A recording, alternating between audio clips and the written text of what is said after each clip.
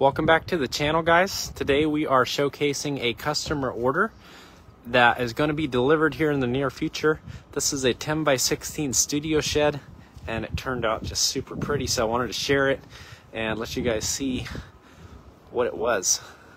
So it has a white metal roof, white trim, and a beautiful barn red siding. These nice 3x4 windows let in lots of light. They're just really nice and big. Really help dress off this building. Normally you would get some transom windows up there. They opted to have those removed. But normally it would be three one by three windows up up above. And then this barn door was also a custom add-on that they wanted instead of the pre-hung three foot door. On this end there are no windows. Um, up there notice there's venting, continuous venting all the way along the front, and that also is in the back.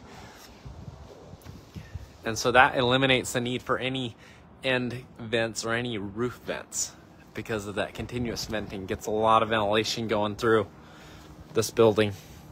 And then we'll step inside. This four foot door here comes with its own cable brace adjusters. So if you need to turn that turnbuckle a little bit tighter, it will adjust the door and keep it in great working shape.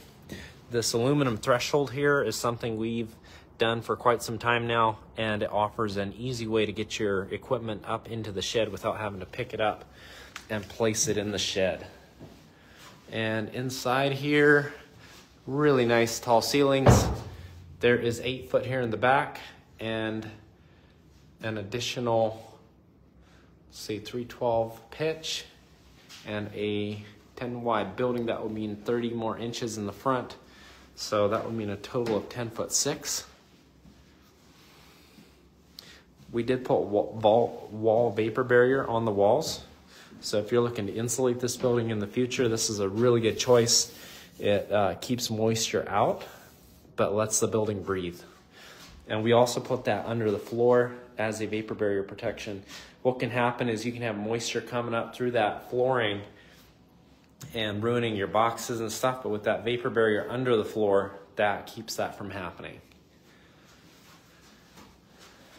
Check out the description for more information. The price is a little over 9000 for this 10 by 16. This one is already sold. It's a customer order, but we can definitely build you one like it. So thanks so much for watching and hope you guys are having a great day.